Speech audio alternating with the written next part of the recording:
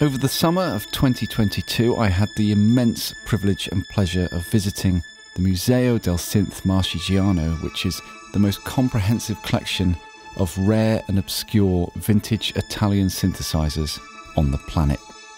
This video is an account of what I experienced there.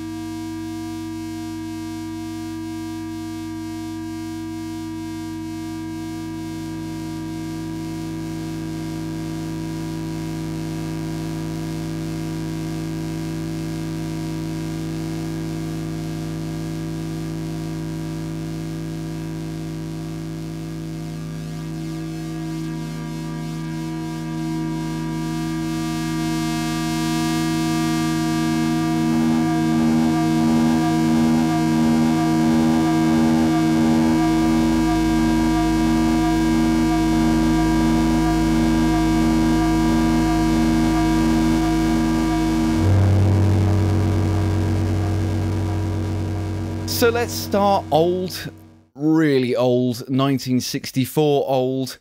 So this is the Synket, and uh, my friend Heinbach has just done a wonderful video specifically on this synthesizer, and he did a whole album with it, which I thoroughly recommend you go and check out. But for the purposes of this video, in a nutshell, Paolo Ketoff was an engineer who was working for RCA in Rome, uh, and he'd had some experience with building uh, bespoke pieces of equipment, and inspired by the work of Harald Bode, he thought he'd have a crack at a synthesizer, and the result was the Synket, the name being a portmanteau of synthesizer and Ketoff. Now, this is 64.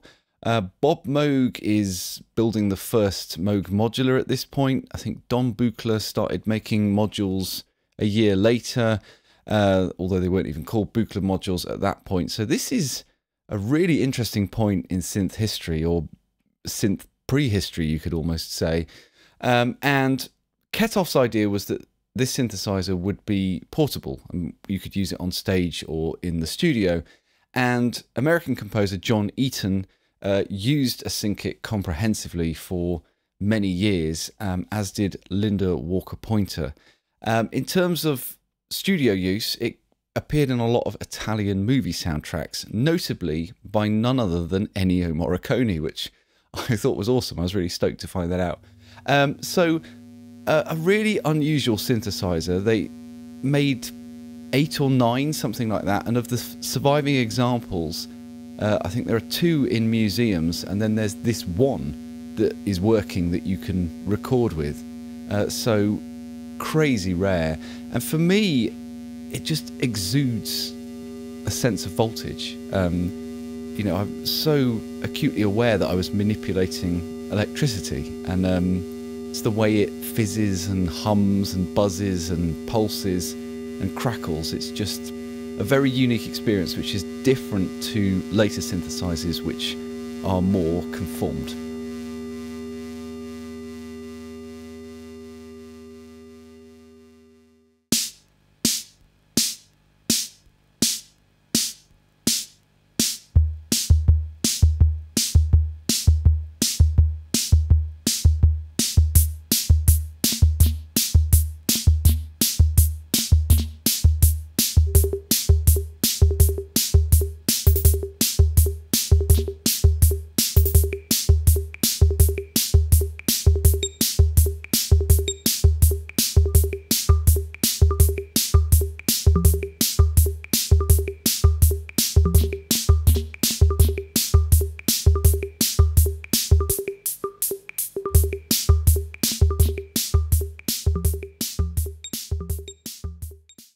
So let's get groovy. This is the EKO Computerhythm. Now, I knew the EKO name from their guitars because a couple of mates had EKO acoustics in the 90s, but I knew very little of their electronic instruments. And this is an analog drum machine with a digital programmable sequencer, a 16 step sequencer no less, from 1972. And Roland and Linn Electronics get the lion's share of the credit for the popularity of drum machines, and arguably rightly so. But really, the guys at EKO were doing a lot of that stuff many years before. This is eight years before the TR-808 and six years before the CR-78 and uh, seven years before the Linn LM1. So, uh, how is this not better known? Well, probably because it was on a tiny scale, relatively. They made 40 or 50 of them, and it did have some famous use. Um, Jean Michel Jarre had one, uh, and it appears in a couple of his videos, particularly that video where he keeps doing the thing with the head. You know this?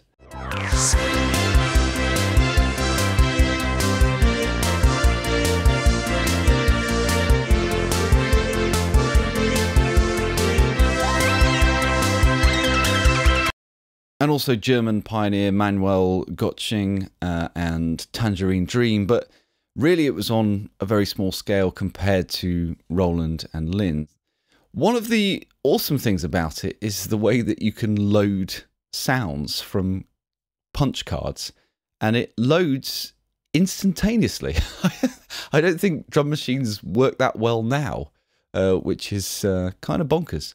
Um, but it sounds absolutely fantastic. And um, one of the coolest things is you can do odd time signatures with it, like this.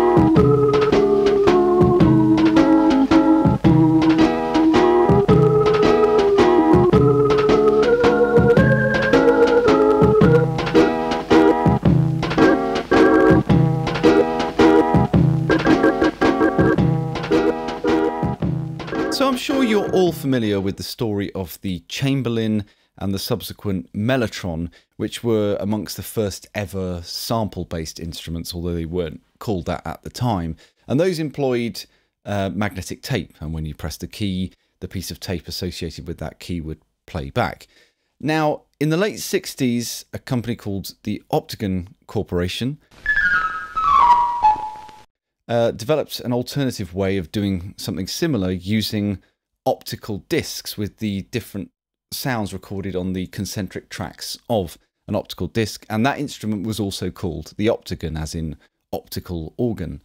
Now, the company that owned Optigan were Mattel, who were a toy company, and it was marketed as a kind of home product slash novelty product. And it's only in more recent years that it's developed a cult following, and the sounds of it, particularly the loops that were recorded with anonymous session musicians in the late 60s and early 70s appear in lots of different pop records, uh, in loads of TV commercials and movie soundtracks. Now, in a way that mirrors the infamous relationship between the Mellotron and the earlier Chamberlin, uh, something similar happened in the optical disc world, which was that Frederick Roy Chilton, uh, who I believe had been involved with Mattel and possibly even the Optigan, um, developed a rival product called the Chilton Talentmaker, which on the face of it is the same thing. Uh, and apparently, the Optigan guys brought legal action uh, against the Chilton Talentmaker, and I don't know what the result of that was, but the Talentmaker did make it out into the world. And what on earth is the link between this and Italy? Well, uh, production of the Talentmaker was taken up by General Electro Music, GEM, who are an Italian company, which is why you sometimes hear this referred to as the Italian Optigan.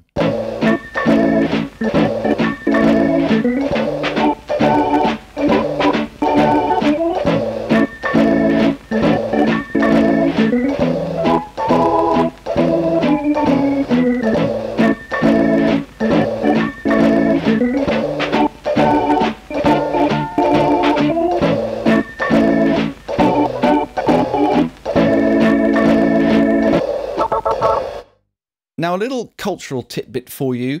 So, Jon Brion used the Chilton Talentmaker, specifically a disc called Guitar in 4 4, all over the soundtrack for Eternal Sunshine of a Spotless Mind. And he would press down two of the accompaniment keys at a time and get this beautiful polytonal effect. And with the really wobbly, warbly, crunchy uh, sound quality of this weird old instrument, um, it just works brilliantly uh, in the film, especially with the subject matter. Now, the very first video you will find on my channel is a recreation of one of the cues from Eternal Sunshine of a Spotless Mind, explaining and demonstrating exactly what he did. Uh, and so it's really cool to be able to, after all these years, feature the actual Talentmaker.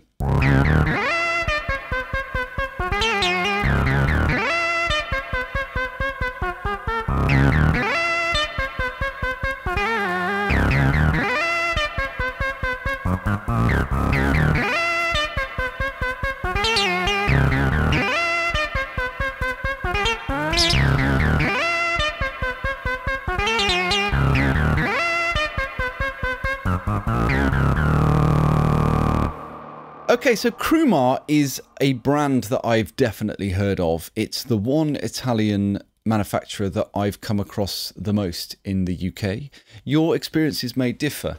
Um, and I recognise many of the Crumars there at the museum, but they also had some really obscure ones, which I had definitely not heard of. And that synth you just heard was the Crumar Compac Synth from 1976, and it's a real oddball. So it's set up with the controls below the keyboard so that you would put it on top of an organ. And in terms of its sound and the way it behaves, it feels like it can't decide whether it is a synth or a monophonic organ, which makes sense because that kind of clash and tension was what was going on at the time.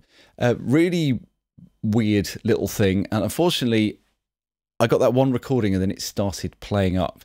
And so I didn't get another usable recording, but hopefully uh, that one recording gives you a little taste of what it's about. Uh, talking of obscure Crumars, here's another.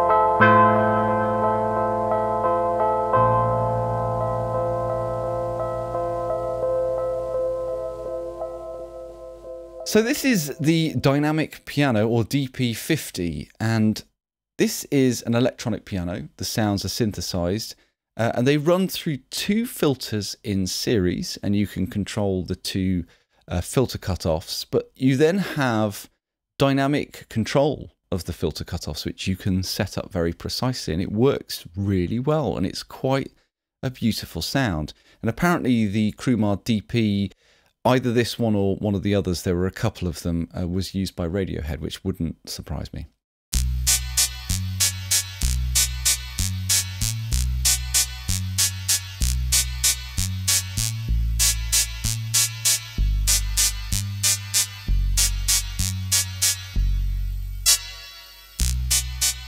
So Elka is another brand I've definitely heard of because of synths like the Elka Rhapsody. But this is one I definitely hadn't heard of, the Elkatwin 61. So named because you can set up two sounds, twin sounds on it. But the thing about this synth that was really killer was the phaser. I'm an absolute sucker for phase shifters. I love the phase shifters on the System 100M. And so, um, I, yeah, I just phased the day away.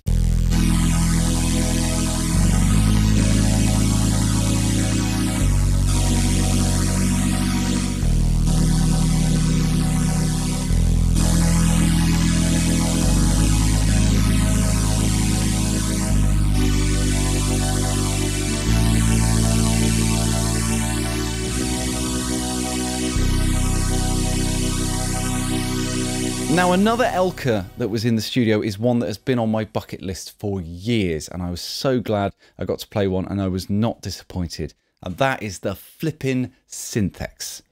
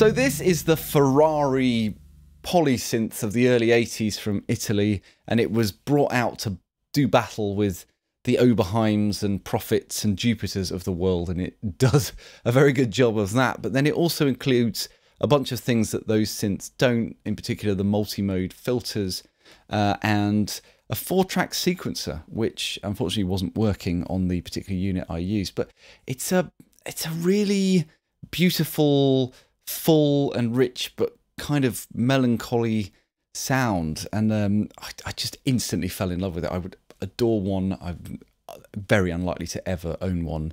Uh, thank goodness cherry audio just uh, did a software version of it hey. Um, so yeah i was really chuffed to finally play that synth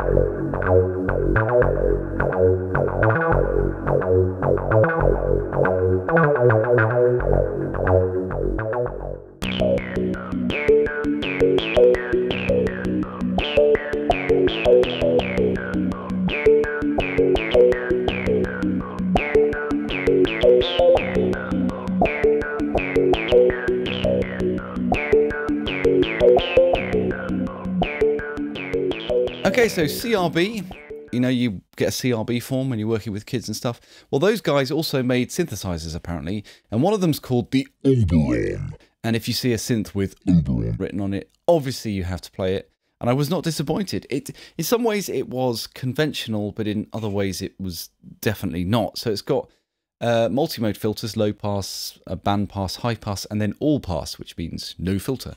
Uh, it's also got things like instead of pulse width modulation and pulse width, it has duty cycle pulse height and pulse width. And then it has another tone generation source called AM. And we couldn't, for the life of us, figure out what that was. Amplitude modulation, audio modulation, I don't know.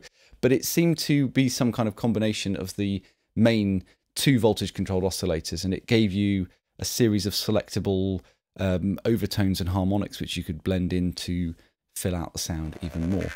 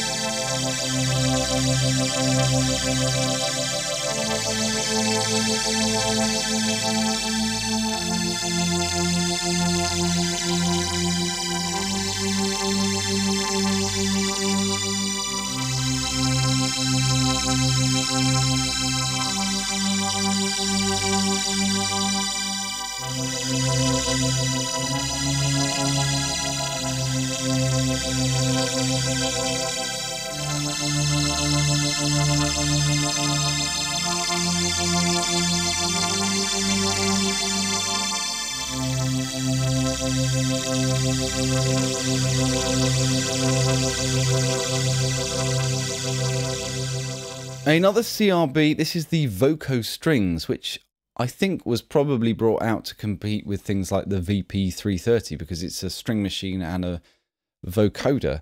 Hello, editor here. So I recorded the vocoder, but I didn't quite grasp how it works. It was a bit unconventional. Um, and when I got home, the recording was unfortunately unusable. Um, so here's a vocoded apology.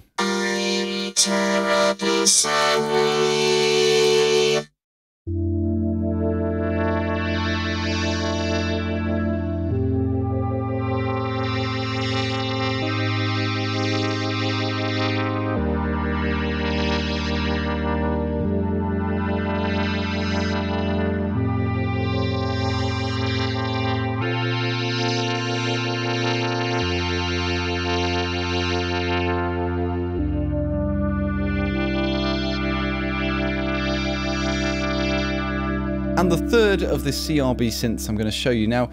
Jupiter is famously a Roman god, but ironically, it wasn't the Italians who got to make a famous Jupiter synth, it was the Japanese.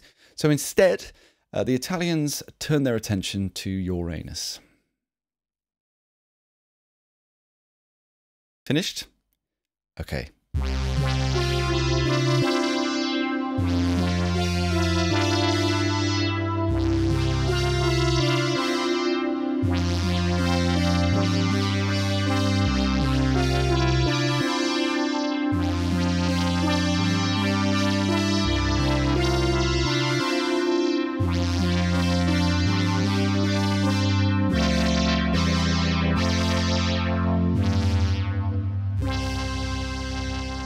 Now, I've always wanted to go on Uranus, and uh, I've never had access to Uranus before, but as I press my fingers... No, this is getting too weird, isn't it? Um, really cool synthesizer. It, it's kind of a Jupiter 4, isn't it? But not at the same time. Um, and yeah, really enjoyable to play.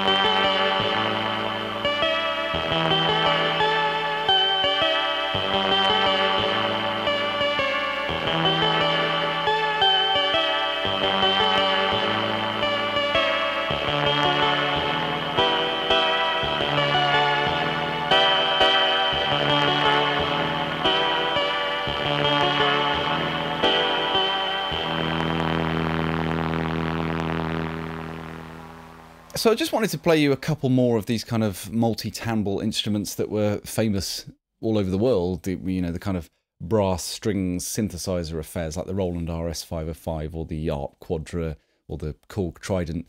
And um, yeah, these uh, they just have a really melancholy sound to them. They're just really haunting and, and beautiful. And you know, they're they're all about layering the parts together once when they really come to life. And um, you could lose hours playing around with these things. It just sounds so beautiful.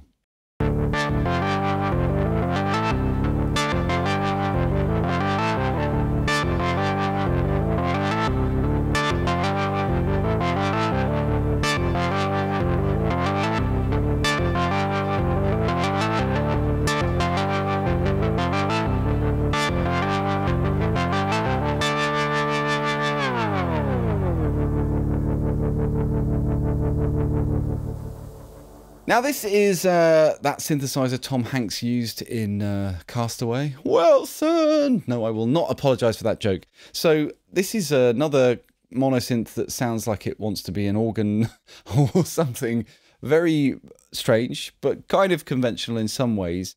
Um, and it's got a big button on it called random music that flashes at you, and it's got like a an illustration of some kind of planets orbiting and stuff. and uh, yeah,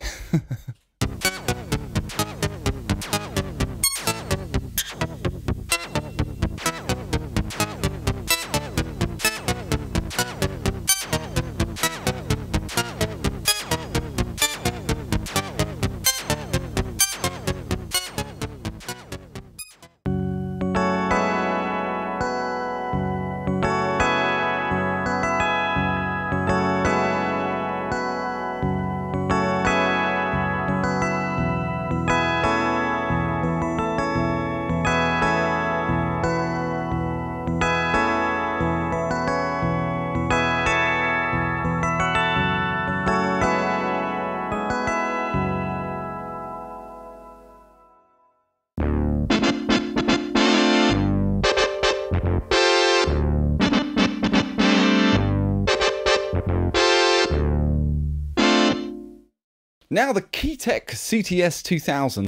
there was so many synths called the something 2000 because obviously that was the future uh, a very long time ago. Uh, and this is a totally 80s synth, um, you know, with cartridges to load your sound and everything. And I, I wanted to play a little bit of this just to demonstrate that, you know, whilst we're aware of perhaps now the 60s and 70s Italian synths, they did, of course, carry on into the 80s and into the 90s. Uh, and they were not immune to the effects of the Yamaha DX7 and the Roland D50, and you can really hear it with this Keytek.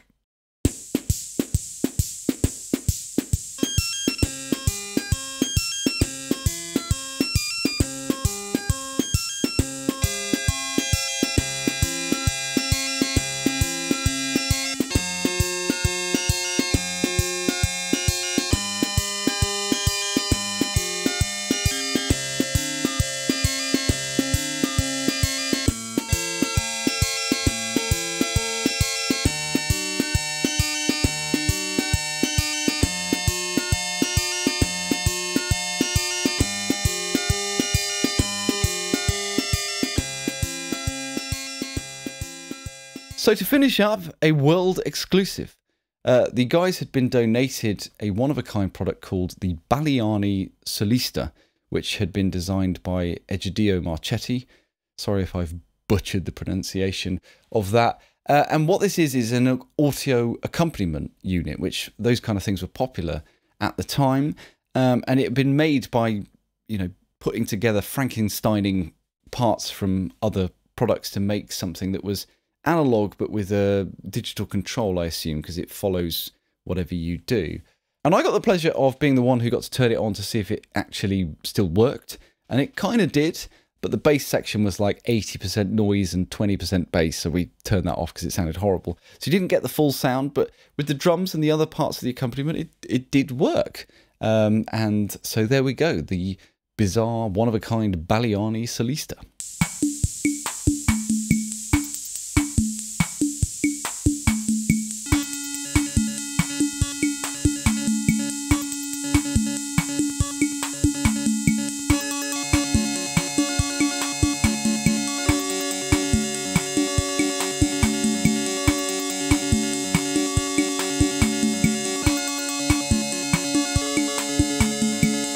If you've made it this far, thank you for watching. It's um it's like an alternative universe, isn't it? Where everything was kind of similar but different at the same time, which is wonderful. Um, an enormous thank you to everyone at the museum, in particular Paolo and Riccardo, who put themselves out in many ways and were extraordinarily generous to myself and my family while we visited. So thank you. Uh, I hope I can return the favour at some point. I'll leave you with the sounds of the Baleani Solista. Thanks, everyone.